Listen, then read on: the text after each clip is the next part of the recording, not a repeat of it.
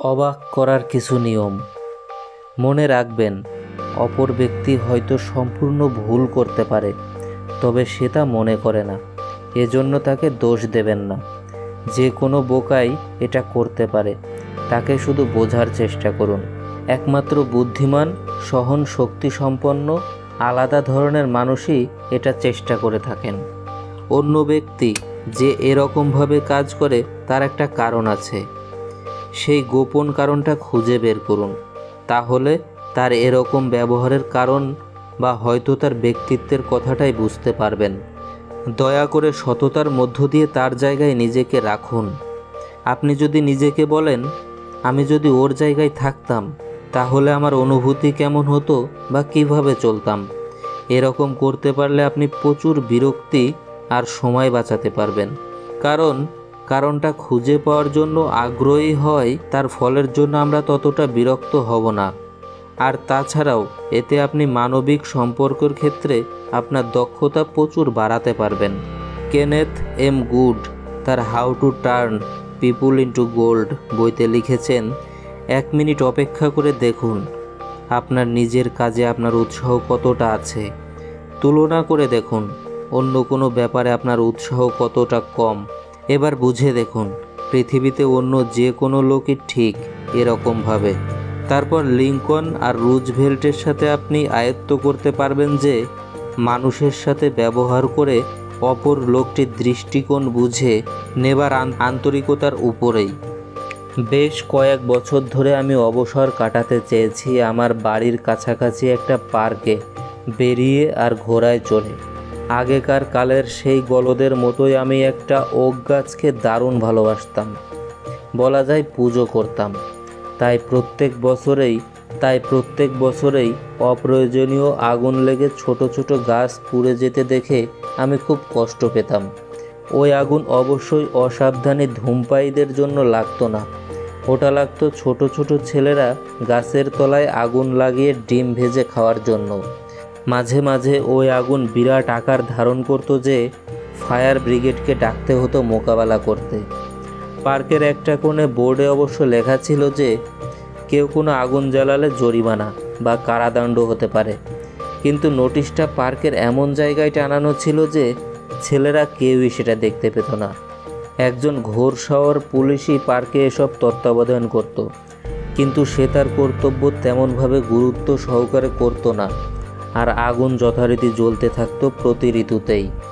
একবার আমি আগুন লক্ষ্য করে পুলিশটির কাছে ছুটে গিয়ে তাকে আগুনের কথা বলে দমকাল খবর দেওয়ার কথা বললাম।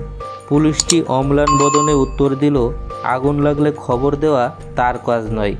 আমি প্রায় মরিয়া হয়ে উঠলাম। আর এরপর যখন ঘোড়ায় চড়ে বেড়াতাম, ছেলেদের আগুন জ্বালাতে দেখলেই তাদের তাড়া করতাম। আমি লজ্জিত ও গোড়ায় ছেলেদের দৃষ্টিকোণ থেকে ব্যাপারটা আমি দেখিনি। আমি স্বনিয়োজিত আইন রক্ষক হয়ে কাজ করতে চাইতাম। আগুন জ্বলতে দেখলে আমার মন খারাপ হয়ে উঠত যে ঠিক করার বদলে ভুলই করে বসতাম। আমি কর্তৃত্ব ব্যঞ্জক স্বরে ছেলেদের সতর্ক করে বলতাম যে এজন্য তাদের জরিমানা আর জেলও হতে পারে। তাদের গ্রেপ্তারেরও ভয় দেখাতাম, কিন্তু কেবল নিজের মনকেই হালকা করতে চাইতাম। তাদের মন বিচার করতাম না। ফলাফল কি হলো, ছেলেরা কথা শুনতো? বেশ অসন্তুষ্ট হয়েই মেনে নিত। আমি পাহাড়ে ঘোড়ায় চড়ে উঠে গেলে আমার ধারণা তারা আবার আগুন জ্বালাতো আর বোধহয় সারা পার্কটায় পুড়িয়ে ছাই করতে চাইতো। সময় কেটে চললে আমি আশা করলাম, মানবিক সম্পর্ক নিয়ে এবার কিছু নতুন জ্ঞান সঞ্চয় হয়েছে। আমি কৌশলীও হই আর অন্যের দৃষ্টিকোণ থেকে সব কিছু দেখতে অভ্যস্ত হলাম। এর ফলে হুকুম দেবার বদলে জ্বলন্ত আগুন থেকে এগিয়ে গিয়ে অনেকটা এভাবে শুরু করতাম। কি ছেলেরা, সময় ভালো কাটছে? আর কি রান্না হচ্ছে? আমার ছেলে বয়সে আমরাও আগুন ধরাতাম। এখনও অবশ্য ভালোবাসি। কিন্তু তোমরা বোধহয় জানো না, বাগানে আগুন জ্বালানো খুবই বিপজ্জনক। আমি অবশ্য জানি, তোমরা কোনো অনিষ্ট করতে চাও না।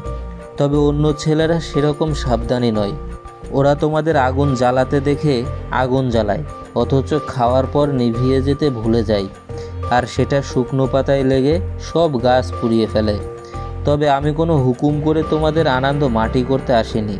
আমি চাই তোমরা আনন্দ করো। তবে দেখো, তোমরা শুকনো পাতাগুলো এখনই আগুনের কাছ থেকে সরিয়ে নাও। আর যাওয়ার সময় ধুলোয় আগুনটা চাপা দিতে ভুলো না। করবে তো এটা? এরপর যখন আনন্দ করতে চাইবে পাহাড়ের উপর যেখানে বালি আছে, সেখানে ধরালে কেমন হয়? তাতে কোনো ক্ষতিও হবে না। এখানে আগুন জ্বালালে জেলও হতে পারে। তোমাদের ধন্যবাদ। আচ্ছা এবার আসি। তোমরা ফুর্তি করো। এ ধরনের কথাই কতটা তফাত ঘটে যায়। এর ফলে ছেলেরা সহযোগিতা করতে চায়। কোনো বিরক্তি বা অসহিষ্ণুতা তাদের মধ্যে থাকে না। তাদের হুকুম করে বন্ধ করতে হয় না। কারণ তারা তাদের মুখ রক্ষা করতে পেরেছে। এতে তাদের মন ভালো থাকে। আমিও সেরকম থাকি, কারণ তাদের দৃষ্টিকোণ থেকে ব্যাপারটা দেখতে চেয়ে অবস্থাটা সামাল দিয়েছি। এর পরের বার কাউকে ওই আগুন নেভানোর কথা বলার বা অন্য কাজ করানোর আগে তাদের দৃষ্টিকোণ থেকে ব্যাপারটা একটু চোখ বন্ধ করে দেখে নিন। এটা করলে ভালো নয় কি? নিজেকে প্রশ্ন করুন, লোকটি এ কাজ করতে চায় কেন? এটা সত্যি যে এতে সময় লাগবে। তবে তাতে নতুন বন্ধু পাবেন। আর ঝগড়ার রেশারেশির বদলে ভালো ফলও পাবেন। এতে জুতার তলাও ক্ষয় হবে কম। হাবার্ড বিজনেস স্কুলের ডিন ডন হ্যাস বলেছিলেন, কারও অফিসে গিয়ে তার সাথে দেখা করার আগে অফিসের সামনের রাস্তায় দু ঘণ্টা পায়চারি করতে চাই। কিন্তু কোনো পরিষ্কার ধারণা না নিয়ে ঢুকতে চাই না। যেমন আমি কি বলব, তারই বা উত্তর কি হবে? যার কাছে যাব তার দৃষ্টিভঙ্গি জেনে রাখাই শ্রেয়। কথাটা এতই দামি যে বারবার সেটা মনে রাখা দরকার। এই বইটি পড়ার পর যদি সর্বদা সব কিছু অন্যের দৃষ্টিকোণ থেকে দেখার অভ্যাস জন্মায়, তাহলে এটা নিঃসন্দেহ যে আপনার জীবনে এটা হয়ে উঠবে একটা দিগদর্শন আর সুন্দর কোনো অভিজ্ঞতা। তাই অন্যের বিরক্তি না জাগিয়ে মানুষকে যদি পরিবর্তন করতে চান, তাহলে আট নং নিয়ম হলো আন্তরিকভাবে অপরের দৃষ্টিকোণ থেকেই সব কিছু দেখার চেষ্টা করুন।